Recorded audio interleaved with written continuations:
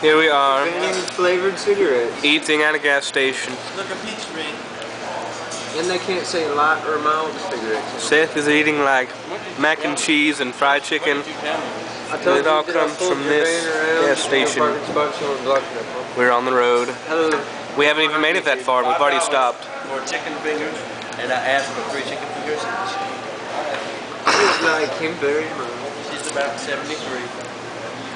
You, How far are we driving? like maybe 20 minutes? Maybe. No, about 50.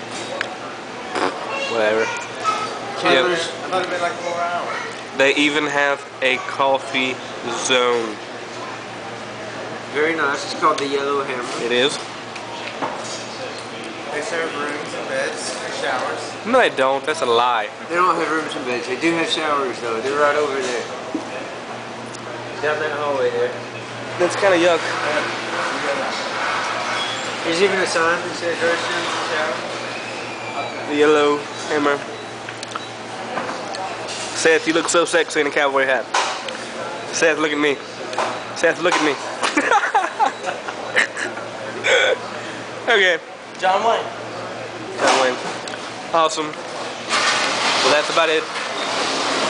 Say bye. Not really.